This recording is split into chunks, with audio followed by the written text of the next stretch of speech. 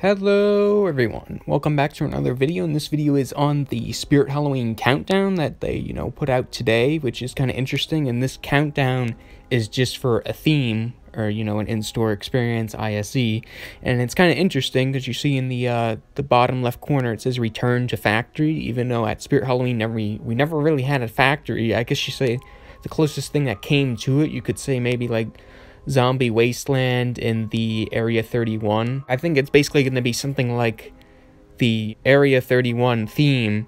Like the props that would be in it would be like, you know, mishmash like props, like things like merged together. So I don't know, that's what I'm thinking. But you know, in the left corner, kind of in the middle, you can see that like this the Howl, Mr. Howl. He looks kind of like a Hugs prop that, you know, people have been saying, so we could, you know, get a new reskin of Hugs, and he's probably gonna maybe make growls, or he might say something, so it'd be like kind of like Cage Beast, like the person's, you know, saying, hey, get back, and then, you know, he would lunge at you, and then in the right corner, like in the middle, you can see like a jester. Maybe we're getting a uh, YJ uh, Flashback Friday for Chester the Jester, maybe? I don't know. It kind of looks like that. I know a lot of people like that prop. This countdown thing's pretty interesting. I'm I'm surprised that they're doing such a long wait, 35 days, which would be July 15th at like 10 Pacific time.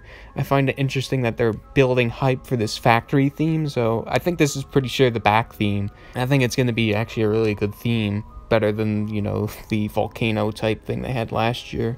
And i think it could be you know one of the better back themes in a while. Um, i think it's going to be pretty interesting and it sounds pretty cool and i wonder i thought there was going to be a movie theater but it doesn't look like it unless they make like a movie theater like the front theme. I don't know when the first sneak peek is. It's probably going to be within the week. I don't even know. It's probably this week next week the other week or even you know the end of june.